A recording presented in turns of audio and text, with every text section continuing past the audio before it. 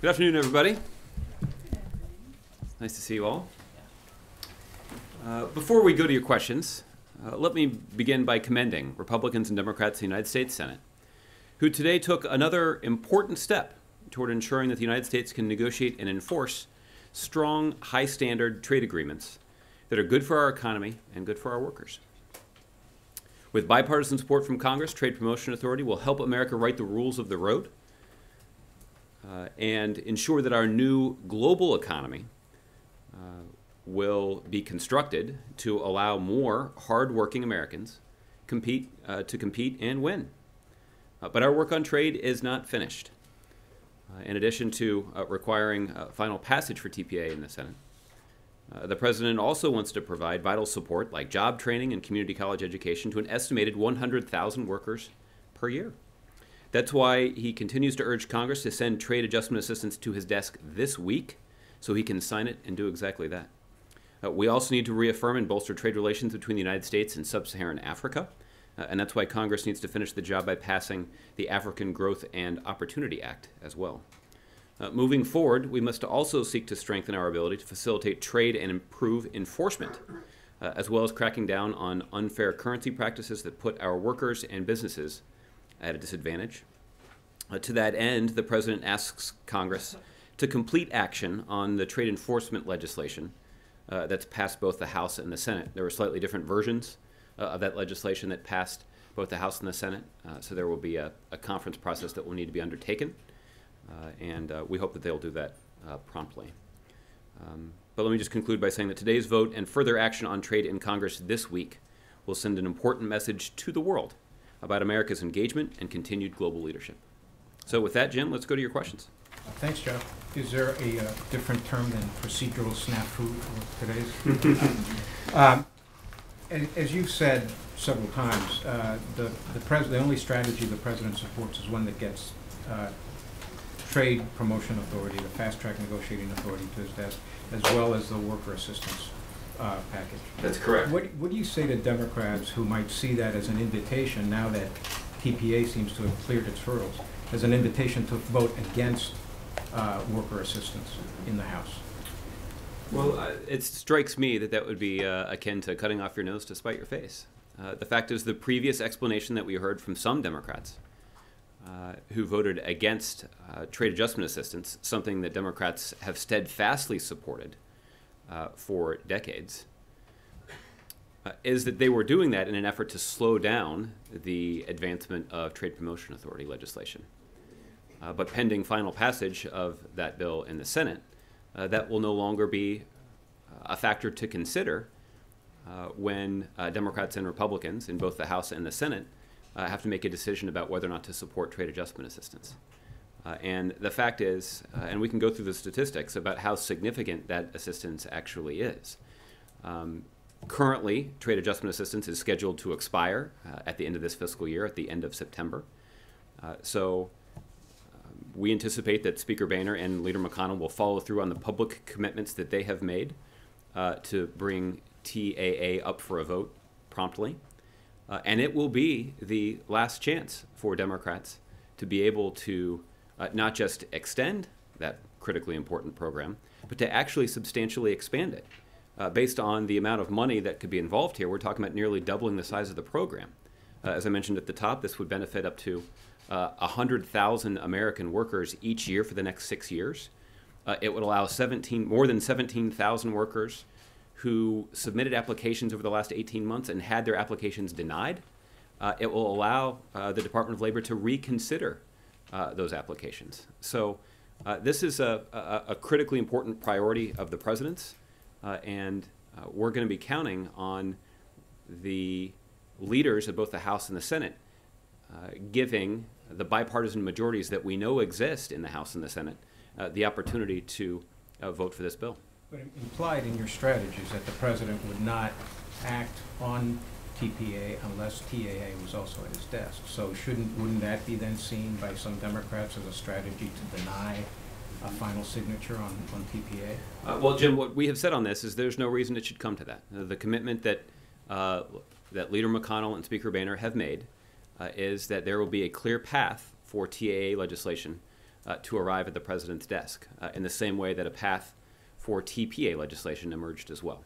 Uh, that's what the president's counting on, and that's what the president uh, is looking forward to signing into law. So the president would sign TPA even if Democrats were to hold back PAA from arriving at his desk? If, simply if, if Democrats were responsible for not getting it to his desk? Well, but again, there's there would be no good reason for Democrats to do that, considering Democrats have strongly supported T- TAA in the past, considering the significant impact that TAA would have on 100,000 middle class workers, and considering that there no longer is a legislative process for them to slow down. The legislative process for TPA will have completed, will have been completed. Is there any concern that uh, the, the up and down nature of, of the, the fate of fast track in any way hurts the administration's hand in negotiating the final points of, uh, of TPP, the Trans-Pacific Partnership? I have not heard anybody raise that concern. Uh, our, neg- our negotiators have not raised that concern with me. What we have, uh, what they have, uh, uh what Ambassador Froman has told me personally is that what our, um, what his interlocutors from the representatives of the TP, TPP countries are looking for uh, is a firm commitment from the United States that if an agreement uh, is reached around the negotiating table, it's not one that they're going to have to worry about being renegotiated by 535 members of the United States Congress. Uh, and so what they're looking for is a clear path where Congress can, of course, weigh in on uh, a trade agreement uh, if one can be reached, uh, but one that is consistent with the kinds of priorities that the president has made clear must be included in a TPP uh, agreement before he'll even sign it in the first place. So um, what uh, what our what our partners are looking for is um, is Congress uh, to give the president the authority that he needs to complete this agreement. Uh, and then they will know that if, if a, a, deal can be reached around the negotiating table, it will be clear the process by which the, the, agreement can be ratified and enter into force. Uh, on, a, on, a, separate subject, uh, various organizations, including ours, are reporting uh, that the hostage review is going to come out tomorrow and concluding that families of hostages will not be penalized if they happen to pursue uh, any ransom. And, but at the same time, it's not making any change in the law. I'm wondering why not simply change the law rather than not enforce the law that's in the books? Uh, Jim, as I indicated to Carol uh, yesterday, uh, the uh, time frame for the release of the hostage policy review uh, is coming up very soon. In fact, it will be released tomorrow. And uh, over the course of the day today, uh, many of the families of American citizens who've been held hostage around the world uh, are meeting with members of the administration who conducted this review. Uh, and we're using this opportunity to let them know about uh, many of the decisions that were made, many of the recommendations that were offered, and I'll give them the opportunity to see for themselves the contents of the report. Um, but I uh, so for today, uh, I'm not going to get into the contents of the of the report, but I will assure you uh, that tomorrow we will release the report. Uh, it will also include a presidential policy directive, uh, as well as an executive order that the president will sign, and we'll release all of that tomorrow and have an opportunity to have a a robust discussion about um, what the policy review entailed, uh, what sort of decisions were made, what recommendations were put forward, uh, and we can weigh all of that tomorrow.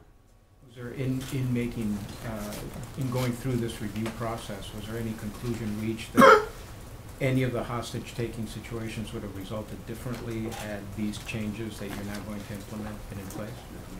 Uh, that's a really difficult thing to, uh, to determine. Uh, I think the goal of this review, when we set out to conduct it, was to make sure that we were better and more closely integrating the wide variety of U.S. government assets, assets that are used to try to safely recover uh, U.S. citizens who are being held hostage. Uh, we also wanted to uh, improve the process of communicating with families who have loved ones who are going through um, this terrible uh, situation. Um, and there is uh, a hope and expectation that by implementing many of these recommendations, uh, that we can better integrate uh, the resources of the federal government that are devoted to this effort. They are extensive. Uh, and that we can improve uh, our ability to communicate with the families of those who are uh, placed in this terrible situation. Okay. Roberta? Um, just going back to trade, um, to make sure I understand, so when TPA gets to the president's desk, is the plan for him to sign it straight away? Or is he gonna wait until he makes sure that TAA passes, so he has them both? Well, the president's made clear that uh, both of them are a priority. Uh, and we uh, continue to um, uh, count on Leader McConnell and Speaker Boehner to make good on their public commitment uh, to give uh, the bipartisan majorities that we know exist in both the House and the Senate the opportunity to vote on trade adjustment assistance legislation. Um, I don't have a, a, a time frame to lay out for you right now in terms of when the president will sign one bill or, bill or the other. Uh, but the president certainly expects to be in a position uh, to sign both of them. But if you're confident that, um, the latter is going to pass, as the leaders have sort of assured, or that, that the vote is gonna be successful, then there's no reason really to wait to sign TPP, right? Well, uh, you mean TPA? Um, yeah, Right. TPA, yeah. Uh, well, again, we'll, uh, we still need to wait for final passage in the Senate. Uh, we still need to wait for the Senate to uh, deliver that uh, piece of legislation to the House, uh, uh, to the White House. Uh, and uh, you know, so we'll have an opportunity to go through this. Um, I want to ask about Syria, and the Kurds have had some military success in taking back uh, territory from Islamic State in northern Syria. And I'm wondering um, what role the U.S. airstrikes played, how much coordination there's been, what the White House makes of this success, what the goal is. Well, Roberta, this is a, uh, a situation that we talked about a little bit in here uh, a week or two ago. That uh, there, we have seen uh, important progress against ISIL in northeast Syria. Uh, much of that progress is actually um, related to an early decision that the administration, that the president made, uh, to weigh in heavily in support of anti ISIL forces in Kobani uh, there was a decision that the president made to airdrop uh, some military equipment inside of Kobani to resupply those forces that were uh, surrounded and under siege by ISIL forces in the area. Uh, there also was an effort uh, by the United States and our coalition partners to encourage Turkey to provide safe passage to some anti ISIL fighters to enter the country and to reinforce those fighters in Kobani. Since that time, we have seen those forces that started in Kobani uh, move eastward uh, and to push back ISIL. And there have been extensive military strikes, airstrikes that have been carried out by the United States and our coalition partners uh, in the region as well. Uh, and this is, I think, an indication of how critically important it is uh, for the United States to have a capable, willing, uh, and effective partner fighting ISIL on the ground. Uh, and that's why you know significant resources have been dedicated to uh, trying to build up that kind of force both in Syria and in Iraq. Obviously, there are different situations. We have a central government we can work with in Iraq, already in some Iraqi security forces uh, there. Um, we're starting uh, from a much different place when it comes to Syria, trying to solicit members of the moderate Syrian opposition uh, and enlist them in the fight, put them through training. Uh, that's frankly is a more difficult task, but I think this is a pretty clear illustration of why uh, that very difficult work is important.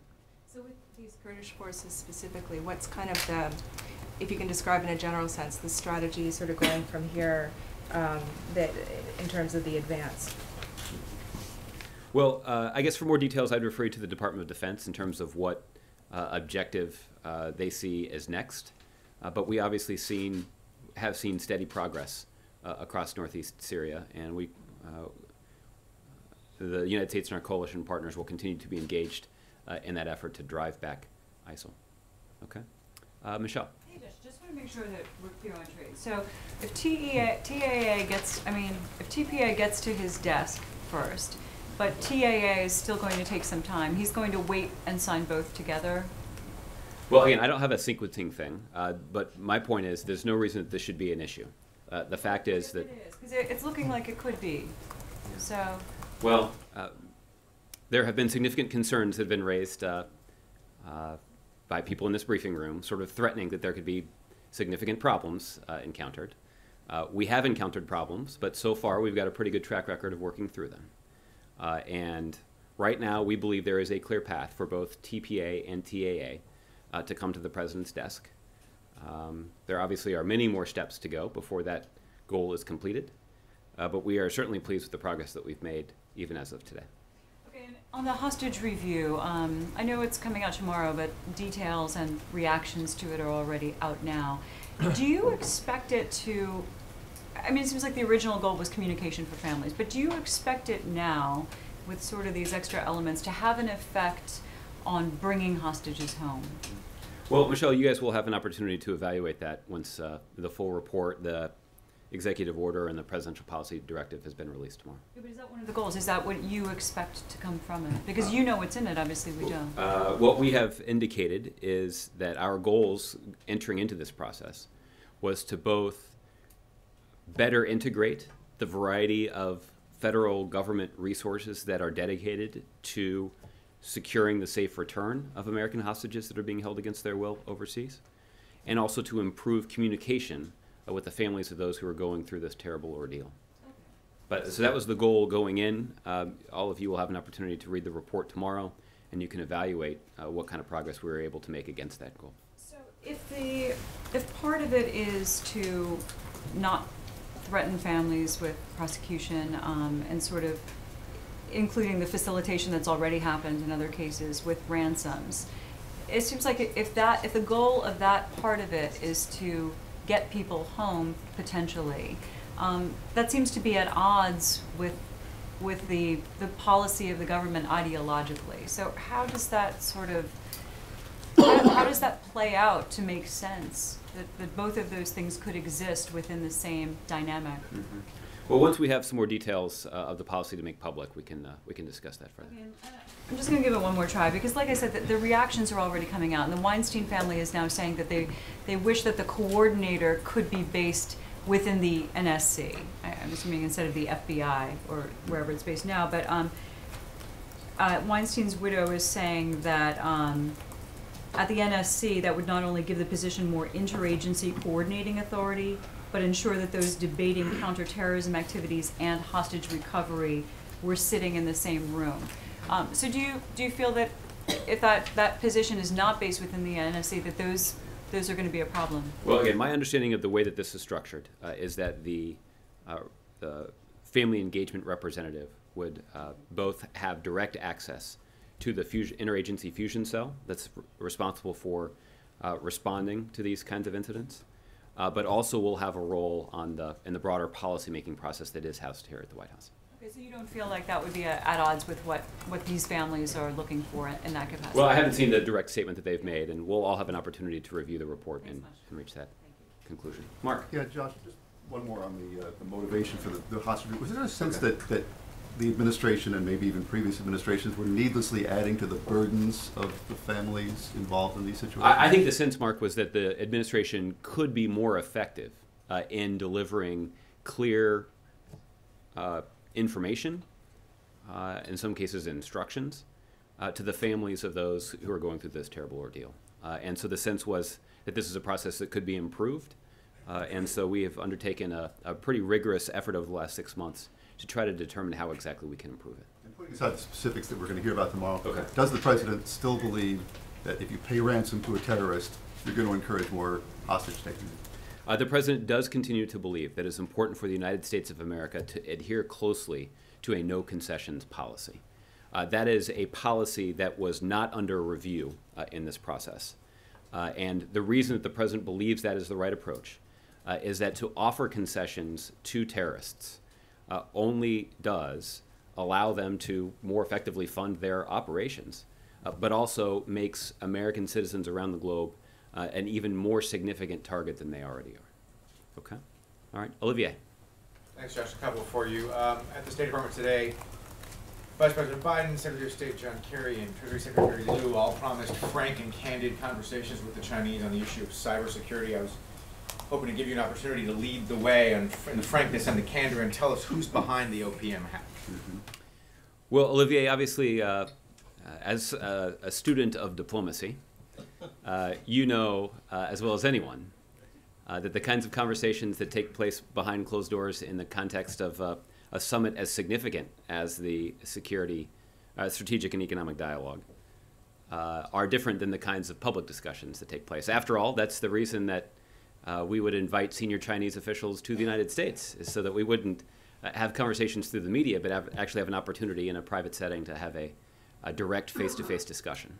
Uh, so I say all of that uh, and uh, end by uh, only reiterating that we have not made any sort of public declaration about who precisely is responsible for the intrusions that were detected at the Office of Personnel Management over the last couple of months.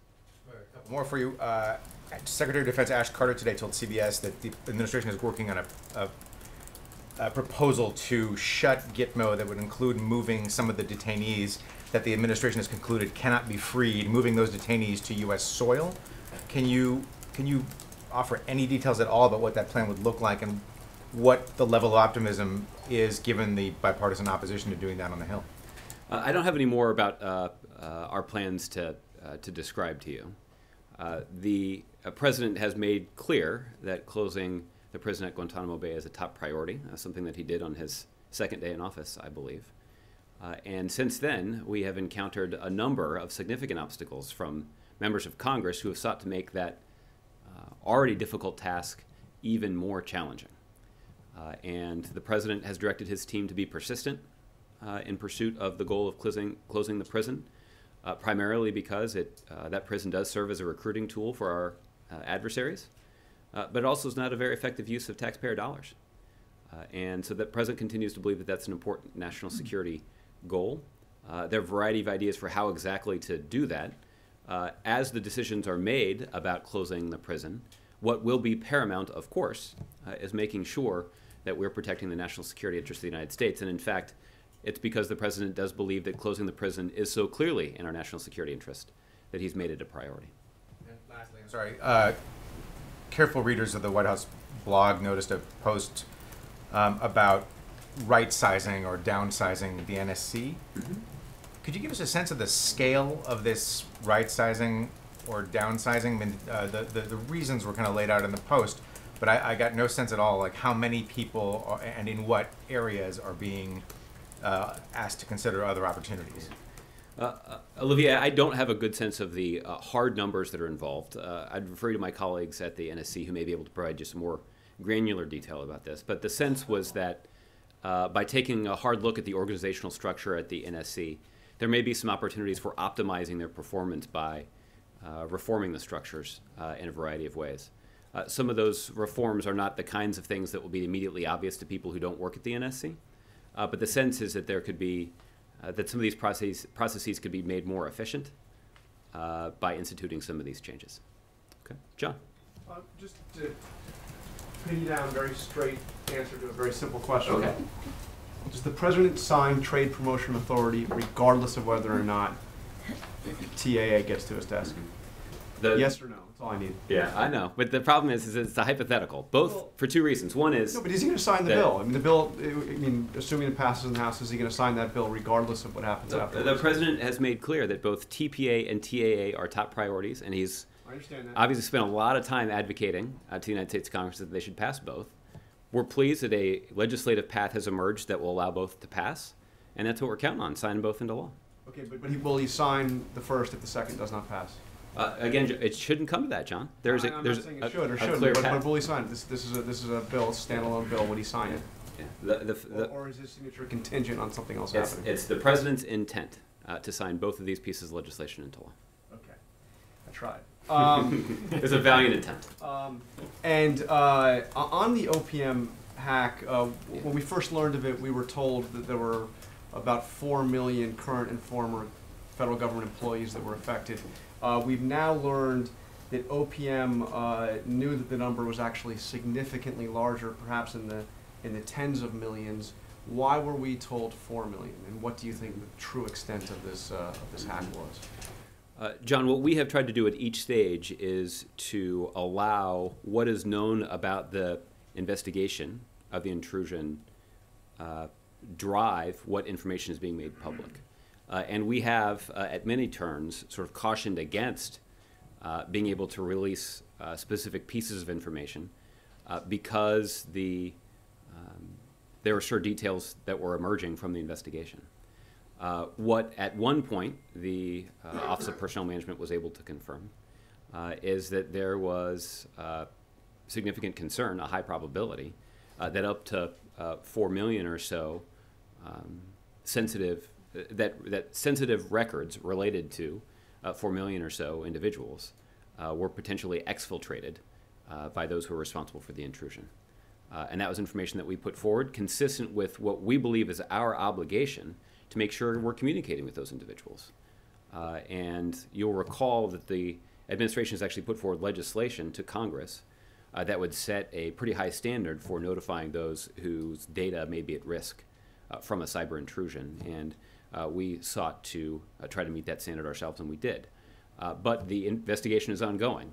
Uh, and as more information is learned, and as we reach additional conclusions, uh, and our investigators determine that it's in the interest of the investigation to make that in- information public, uh, then we will attempt to do so. Do you acknowledge that the number uh, that were affected here, the number of people affected here is actually significantly larger than four million? Well, John, what I have previously acknowledged is that after um, revealing the information about the, uh, the, the breach that led to possibly uh, 4 million people having their sensitive data exfiltrated, uh, that as the investigation continued, that um, information about an additional intrusion emerged. Uh, and I acknowledged at that point that uh, it's certainly possible, maybe even likely, uh, that additional data may be at risk. But only when our investigators have reached a, a, a better conclusion about how much data we're talking about, what sort of data we're talking about, who may be affected, uh, that's when we'll be able to put that information out publicly. And just one further on the hostage uh, and, and, and the policy on ransom. Sure. Uh, is it still and remains a crime to pay ransom to a foreign terrorist group sake of uh, freeing an American hostage? Uh, well, for a legal analysis like that, I'd refer to the Department of Justice. But the policy on that has not changed or will not change. Uh, the, pol- the, the policy of the administration is that the United States of America does not make concessions to terrorists. families don't make concessions to terrorists are not allowed to. Uh, again, that's a, that is a, a legal question that you can direct to the Department of Justice. Okay? Uh, let's move around. Rebecca? Flag issue, both Walmart and Sears said they would stop selling Confederate flag merchandise. Does the president think other retailers should follow suit? Uh, obviously, this is a, a decision for individual businesses to make, uh, but the announcements from Walmart and Sears are certainly consistent with uh, the kind of position that the president has taken when it comes to uh, the Confederate flag. Uh, and so uh, we welcome those decisions, but obviously, those are decisions that are, should be made by individual businesses. Okay? Bill? Uh, You mentioned a moment ago that um, as uh, you reach conclusions about the numbers of those affected by the intrusion, you will announce them. But apparently, those conclusions have already been released to at least some senators on the Hill, because that seems to be the source of the report of at least as many as 14 million intrusions. So why can't you confirm that? Well, uh, two things about this, Bill, and I, I tried to be clear about this with John. The uh, the decision will be driven also by uh, the decision to make particular pieces of information public will also be driven by uh, whether our investigators believe that that's in the best interest of the ongoing investigation. Uh, that sometimes by putting out a particular piece of information or a set of information, uh, we can give our adversaries greater insight into our investigative tools and uh, better insight into the capabilities that we have to respond to these particular situations. So, already got it. Uh, I'm sorry? They've already got it, based on this leak When you say they and it, who are you referring to? and the information. Okay. Well, I, again, Bill, I think we announced a month ago that this uh, intrusion had occurred, and it had, had put at risk uh, the sensitive data of up to 4 million Americans. Uh, Does the president still retain full confidence in Administrator Archuleta? He does. James? Josh. Uh, A couple on China and, Okay. uh, and then one further.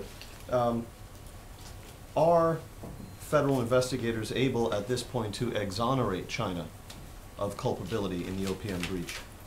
Uh, I haven't heard uh, any firm conclusions from the FBI about uh, who subjects are, or who suspects are, or who subjects uh, aren't.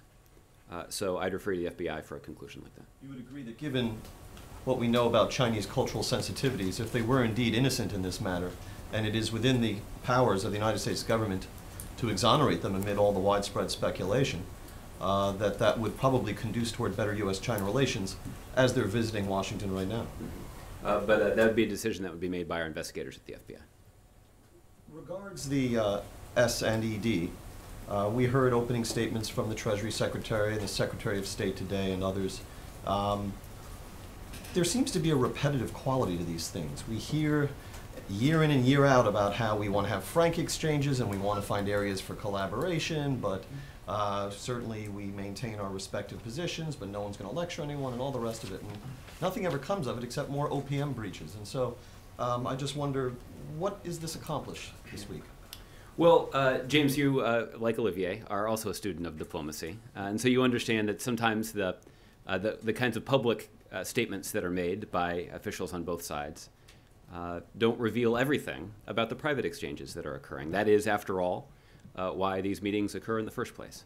Uh, I will say that there have been um, concerns that we have consistently raised year after year about China's activity in cyberspace.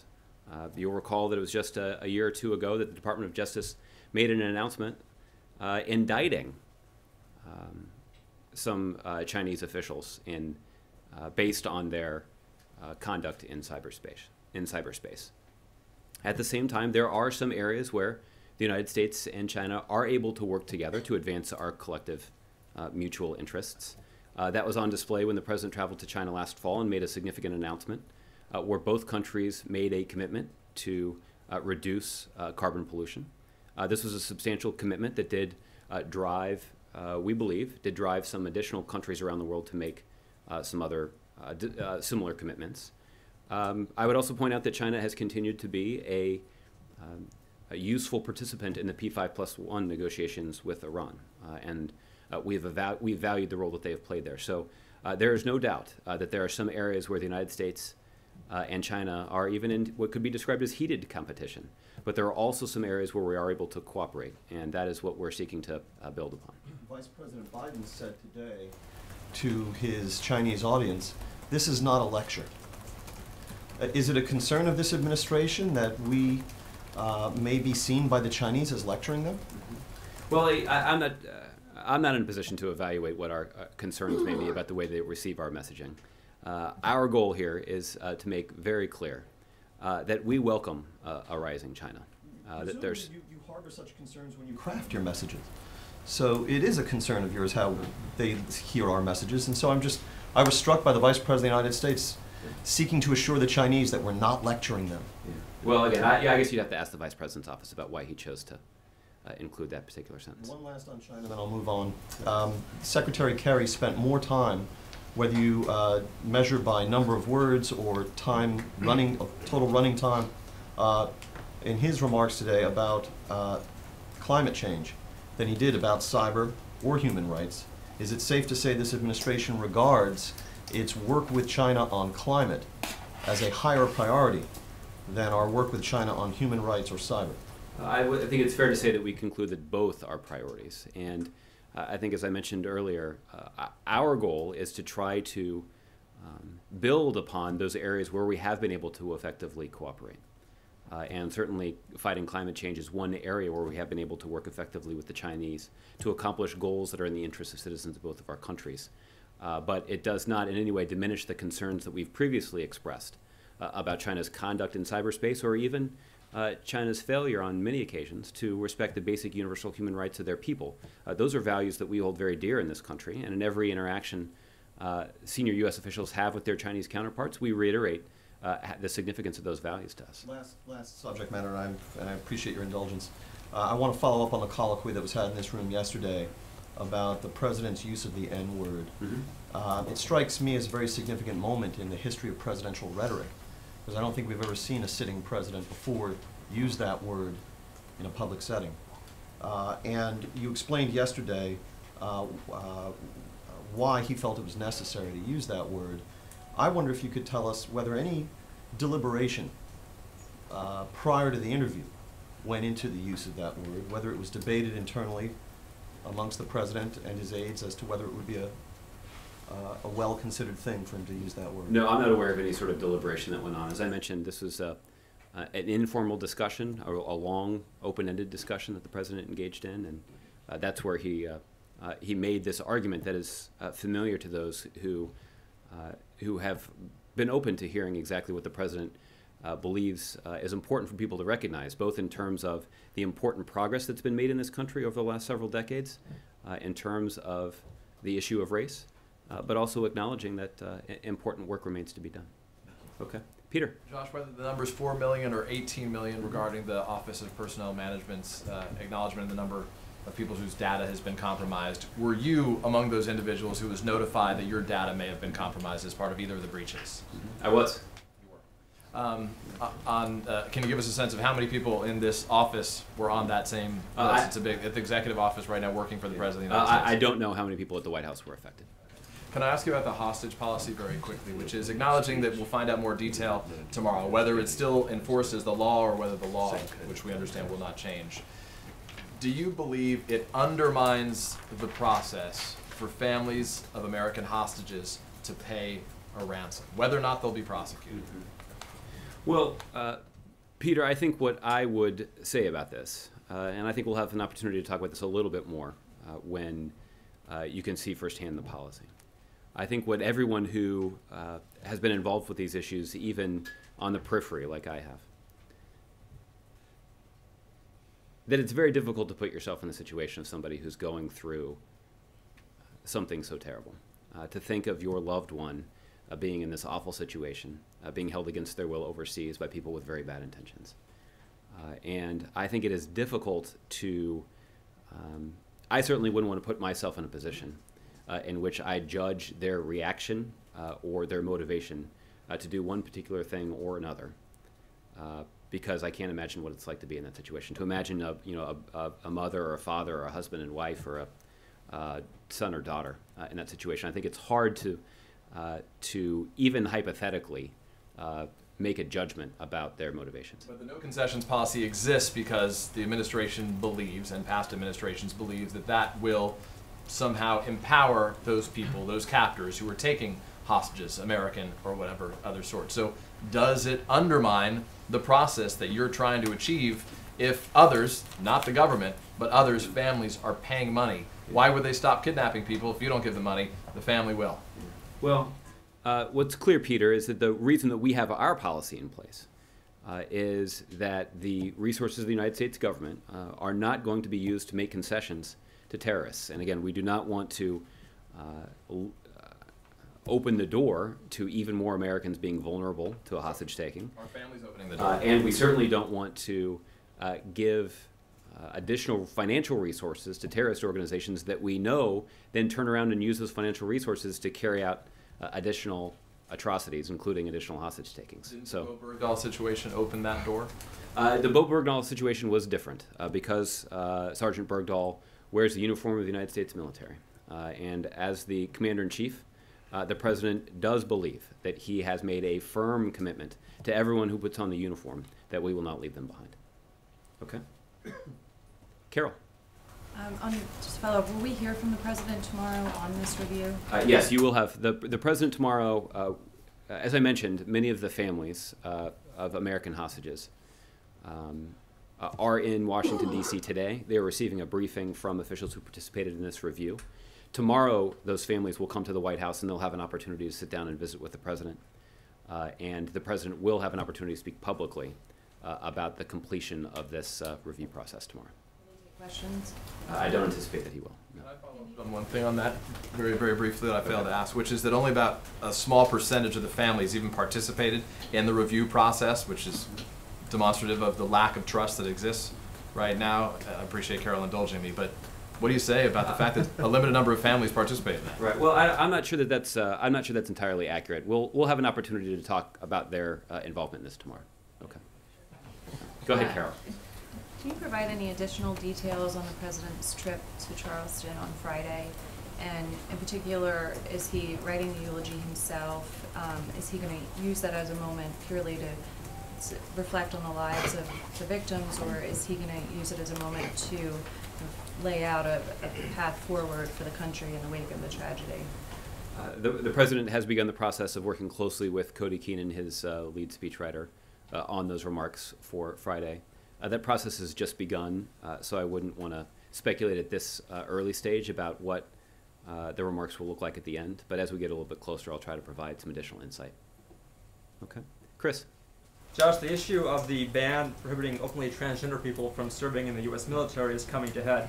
As the New York Times just reported last week, and I later confirmed, Representative uh, Jackie Speier is planning to introduce legislation to force the Pentagon to lift the ban. And Representative Mike Honda is circulating a letter among colleagues calling for the administration to make a change on the policy on its own volition. Tomorrow, at least two transgender service members will be in attendance at the Pride reception right here at the White House. You said before the president agrees everyone who's qualified to serve should be able to serve in the armed forces. But will he act on that principle tomorrow by announcing at the reception he'll lift the ban prohibiting transgender people from serving in the military? Uh, I wouldn't anticipate a, an announcement like that tomorrow. Isn't it, incong- isn't it inc- incongruous, though, that, that the president believes that everyone who's qualified to serve, qualified to serve should be able to serve? Uh, for him to hold that policy, and then for the Pentagon to continue discharging people uh, who are transgender. Well, uh, Chris, this is a this is a question that was posed uh, earlier in the, the administration, uh, related specifically to uh, the "Don't Ask, Don't Tell" policy, uh, and um, you know we've uh, we've long acknowledged that um, considering these kinds of policy changes uh, also involves uh, considering the process for implementing them, uh, and the uh, job of advocates on the outside is to uh, apply pressure and to try to speed that process, but it's the responsibility of those, uh, particularly those who are leading our military, uh, to uh, ensure that any policy that is uh, decided and implemented uh, is clearly within the best interests of the of the United States military and our men and women who volunteer to serve this country. Um, but I will reiterate the president's view, and it's one that is shared by his Secretary of Defense. Uh, and it's that Americans who are qualified to serve should be able to do so and deserve to be treated with dignity and respect. But does the president believe the leaders of the military will end this prohibition before the end of his administration? I don't have any news to make for you on this today, Chris. Okay, Susan. Um, back on the hostage policy uh, review, uh, I'm wondering if you said that the hostage families are being uh, briefed today. Have, did you brief the lawmakers on Capitol Hill? As you probably know, there's a bipartisan group of them, Ben Cardin, John Cornyn, um, Duncan Hunter, who is outspoken and very vocally critical of your approach today. Um, and they want a completely different approach in terms of the fusion center. They believe there's too many turf wars and allowing the FBI to head this up is not going to solve any problems in that capacity. Can you respond to that? Well, we'll be able to talk a little bit more about the specific policy tomorrow once it's been released. Uh, but I would anticipate that many members of Capitol Hill will have an opportunity to speak with senior members of the administration prior to the release of the report tomorrow. 1 p.m. today. I'm sorry? They were briefed at 1 p.m. today. Okay. I think by the NDI and by the National Uh, Defense Intelligence Director. Well, again, I, I- I don't have any specific conversations to tell you about, but I know that many members of Congress will hear from the administration prior to the release of the report. Input in terms of how to get the fusion center um, organized. Uh, I do know that there are a number of conversations that took place with members of Congress as the uh, as the task force was doing their work and as they were assembling this report. Uh, but again, I don't have any specific details of those conversations either. Okay. Uh, move around. Bob. Josh, just a quick one. You mentioned P5 plus one um, a moment ago. It's now June 23rd, and there's basically a week until this self-imposed new deadline, new self-imposed deadline for coming to some kind of final agreement. Can you update us on that, especially with Iran's leaders making all kinds of uh, statements?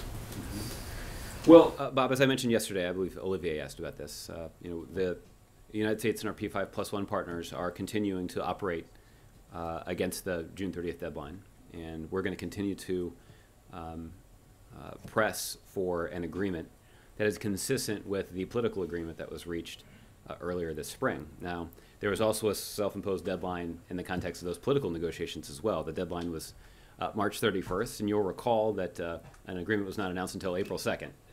Um, so uh, we're mindful of, uh, of what these deadlines uh, often look like, but our view is that um, you know, we've been negotiating with Iran with our P5 plus one partners for coming on two years now, and now is the time for us to reach an agreement, and uh, we're pressing to reach an agreement by the June 30th deadline. But you realize that could very well slide a few days or a couple days, however you want to say. it. Well, again, we, uh, that, that certainly is what we saw uh, in the context of the spring uh, discussions uh, and agreement. But ultimately, it didn't have an impact uh, on, uh, on our ability to reach an agreement that's consistent with the priorities that the president's laid out. Uh, and so, if it requires us to take a couple of extra days, just like we did in the spring, uh, in order to reach an agreement that's consistent with that uh, political agreement, then uh, we'll do that. But again, there's no reason uh, our negotiators, uh, by working with Iran as we have over the last two years, uh, shouldn't be able to uh, meet this June 30th deadline. Quick follow-up. Okay.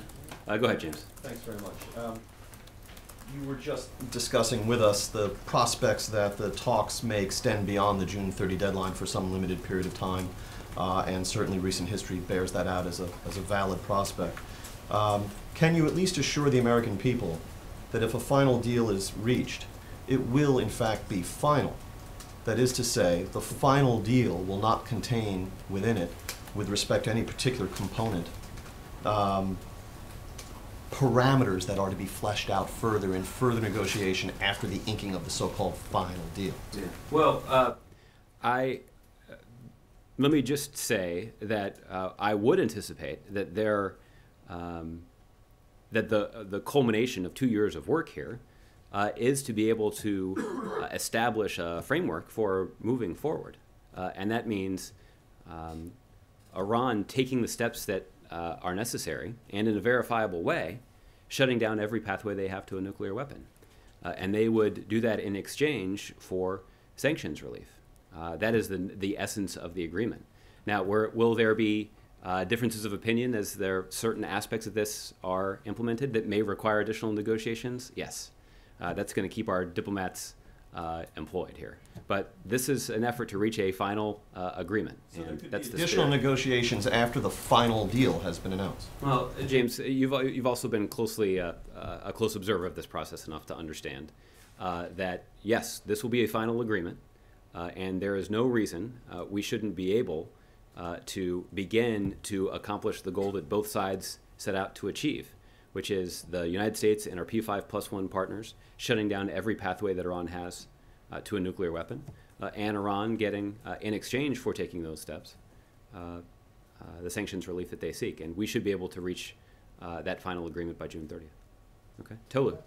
Thanks, Josh. Um, Ash Carter said on CBS News today that um, he does, he's not confident that Guantanamo Bay will be closed before the president leaves office. I'm wondering, does the president share this lack of confidence that, uh, that he won't be able to reach this goal before he leaves office? Well, I, I, um, I- think what is clear from Secretary Carter's remarks uh, is that because of the consistent and repeated effort uh, on the part of Congress to impose obstacles on the process of closing the President Guantanamo Bay, that's made an already difficult process even more challenging. Uh, and uh, but this is a priority that the president has set, uh, and his national security team is working hard to achieve it. I also want to ask you about the King versus, Bur- King versus Burwell case. Yeah. Um, we, we've asked you a couple of times about this, but just want to get a sense on whether or not we know that you all think that, that the case doesn't have merit and shouldn't have been taken up. But in the case that the, the court does strike down these subsidies, has the White House done what can you explain what the White House has done to prepare for that? And um, has the president made calls? Is he reaching out to members of Congress who are saying that they have an alternative? Um, is there anything going on at the White House to prepare for uh, for that scenario? Well, uh, Tolu, I don't, I don't have a lot to, to tell you about. The fact is, the um, we continue to have a lot of confidence uh, in the power of the legal arguments made by the Solicitor General before the court. Uh, and you know, you've heard the president uh, discuss this uh, at some length, and uh, what some people thought was pretty colorful. Um, but you know, the, we, we continue to have uh, confidence in the strength of those arguments, and uh, the fact is, if um, in the unlikely event that uh, there is an adverse uh, ruling, you know, the president's also been pretty clear that if Congress is actually serious about solving this problem, they could solve the problem in one day with a one-page bill.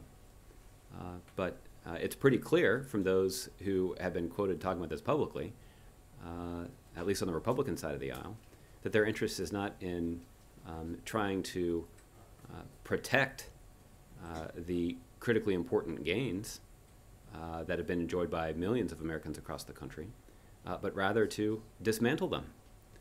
And that is the, that is the publicly stated goal of any number of members of Congress. I saw that Chairman Ryan was even quoted today saying that that was uh, uh, his goal, and he hoped to use uh, the prospect of, uh, uh, of an adverse court ruling to accomplish that goal. Uh, that certainly is not what the, uh, the American people expected their uh, elected leaders. Uh, but uh, again, we're not losing a whole lot of sleep over it because we continue to have a lot of confidence in the power of the arguments uh, that we've made. Okay, Scott. Josh, my colleague Caitlin Dickerson's been reporting this week on uh, World War II veterans who were the subject of secret mustard gas experiments. When those experiments were- came to light, public light, in the early 90s, the VA promised that it would notify all the veterans who'd been affected and make it easier for them to get disability payments. But Caitlin found that thousands of them had never been notified, and many were still being denied the benefits to which they're entitled. What's it going to take for the VA to make good on its decades-old promises to these veterans? Well, uh, Scott, what's clear is that uh, our uh, VA is committed to making sure that our uh, men and women in uniform who serve this country uh, get the benefits that they that they deserve, um, and that is that is the reason for that agency's existence, and it is something that the president has indicated to his team here at the White House and at the VA uh, is a top priority, and that's why. Uh, you have seen all the significant progress that we've been able to make uh, in terms of expanding access to care uh, and making sure that we are uh, working through the, uh, the backlog uh, that uh, uh, has materialized. Uh, and we've made important progress in both of those regards, uh, and that's indicative of the broader commitment uh, that uh, the President has to our men and women in uniform. Um, As it relates to this specific case, I'd refer you to the VA so they can talk about how they're processing uh, these claims uh, and following through on that commitment. Uh, But the president certainly believes that their doing so is consistent with the instructions that they've received to make sure that the VA is doing their job and looking out for our veterans. And is the White House doing anything to kind of keep tabs on that progress that the VA is making, both, both on this specific subset of veterans and on the broader group of veterans who uh, maybe had their promises met in a very slow manner? Well, again, Scott, uh, the, there is a substantial progress that's been made at the VA, and um, they can tell you more about the metrics of that. And frankly, somebody here can if you uh, if you're not able to get those details. But uh, you know, we're pleased with the with the important progress that we've made. We recognize that there's a lot more that needs to get done, uh, and uh, but that progress is a result of the president and his team uh, making this a top priority. Um, but again, for the for this specific case, uh, I'd refer you to VA for details on how they are uh, uh, working through that process. Okay, uh, John. Thank you, Josh. Uh, Personal question at the beginning. uh, Are we allowed to ask those? Yeah, well, personal Well, for the you're president. allowed. We'll see. I- we'll see. Uh, Has the president contacted Governor Hogan following his uh, very moving announcement yesterday? Or does he plan to issue any statement about the governor? Uh, I know that uh, senior officials uh, here in the White House have been in touch with the governor's office to try to line up a phone call between the two, but I don't know that the conversation's taken place yet. The other thing is, just going back to the earlier question about an adverse ruling from the Supreme Court, Senator Tillis of North Carolina said last week that in the event that happened and Congress passed a contingency plan, he felt confident the president would veto it or anything that would concede that there were flaws in the Affordable Care Act. Other lawmakers have said that, including Senator Cassidy, who offered the Patient Freedom Act, which he says has the same goals as the Affordable Care Act. What does the administration say to senators when they make statements like that? Uh, I think what we'd say to them is uh, uh, hopefully their musings on this topic will uh, be rendered irrelevant in the next week or so. Aru. How concerned is the White House about the security situation in Afghanistan? We saw that brazen attack on Parliament yesterday, and now there are these reports that the Taliban is close to overtaking Kunduz in the northern part of the country. How concerned is, is the White House about this? Well, uh, Aru, I can tell you that as it relates to the specific attack we saw against the uh, uh, Parliament building yesterday, uh, that it is an indication of the sophistication and capability of Taliban fighters. Uh, but we were uh, pleased to see a uh, rapid and professional response by the Afghan security forces uh, that did limit uh, the very dangerous attack that was carried out. Um, and I, I do, that is an indication of some of the progress that has been made as it relates to building up the capacity of security forces inside of Afghanistan to try to better provide for the security of their citizens. Uh, but obviously, it's a very um, a difficult security situation in that country, and um, there continue to be U.S. military personnel uh, in Afghanistan that uh, are uh, focused on the effort to continue to build up that capacity of those Afghan security forces by offering them some training and some assistance. Um, there also is a is a counterterrorism uh, role for U.S. forces in Afghanistan, uh, and uh, that is strictly to ensure the safety and security of those American military personnel inside of Afghanistan, but also to look out for the broader national security interests of the American people. Uh, so there's still important work that's being done by the U.S. military there, uh, even in a difficult situation. Uh, but uh, I would not anticipate that uh, yesterday's attacks by the Taliban would have any impact on the longer term U.S. policy toward Afghanistan. Okay? All right. Goyal, go ahead. Thank you, sir. Uh, two questions. One, uh, healthcare costs, mental health, uh, depression, and uh, also tensions are on the rise around the globe. To keep all these in mind, under the leadership of Prime Minister Modi last year, United Nations declared June 21st as the International Day of Yoga, and uh, on Sunday, around the globe, it was uh, celebrated, of course, including at the monument.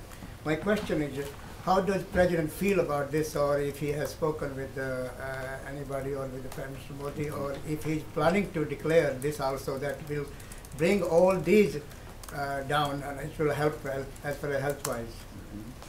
Uh, well, Joel, uh, Goyal, I could just say as a general matter that uh, I'm not aware that the president had any uh, conversations with world leaders on this topic. Uh, but obviously, uh, the the president and the first lady have made uh, public health uh, and the health of the American people uh, a top priority of their administration, and whether that's trying to advance uh, the Affordable Care Act uh, or the first lady through her Let's Move initiative to try to uh, encourage children in this country to be more active and to uh, follow a healthy diet um, that these are policy priorities that the administration has identified and one that we have tried to encourage the American people and people around the world to follow. Second, Josh, uh, as far as uh, two laureates met in Delhi, President Obama and also Mr. Kailash Satyarthi, and uh, they discuss about that uh, as far as trafficking and child labor and child uh, uh, trafficking around the globe is on the rise, including, of course, in India and also in China. Uh, if you can tell me, because Mr. Satyarthi was in Washington last week and he was speaking at the Lincoln Memorial about this issue around the globe to bring children out of the shadow and from child labor. What do you think what President had spoken with him and uh, what you, President think about this? Uh, Well, uh, Goyal, I could just say as a general matter that the uh, president believes strongly uh, that we need to be serious about combating uh, child trafficking. And the administration has devoted significant time and consideration and even resources to international efforts to try to fight um, human trafficking. Uh, we can get you some more details about sort of the de- uh, about the uh, about the nature of those efforts, but I know this is something that the president has talked about uh, frequently, not just with his national security staff, but in his conversations with other world leaders, and uh, even in the context of uh, international meetings uh, at the United Nations. Thank right? you. Okay. Thanks, everybody.